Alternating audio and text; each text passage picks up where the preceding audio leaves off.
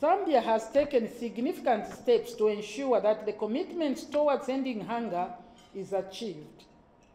As you may be aware, the Food and Nutrition Act number 3 of 2020 places the responsibility of driving the food and nutrition agenda in my office, with support from a committee of permanent secretaries chaired by Cabinet Office, literally secretary to the Cabinet.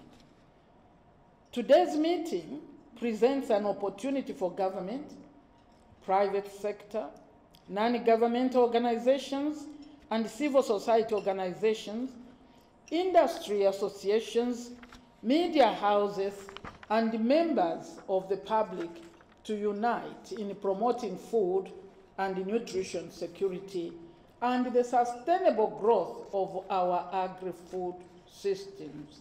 Even more worrying is the severity and frequency of the occurrences of prolonged dry spells and floods. Sadly, evidence shows that Zambia will continue to experience severe impacts of climate change, just like any other countries in the Southern African region. Madam Vice President, with this reflection, as we mark this year's World Food Day held under the theme, Leaving No One Behind, better production, better nutrition, a better environment and a better future, a better life, we are all reminded once again that the journey to a food and nutrition secure Zambia is long and challenging and that we need to take an inclusive food systems approach.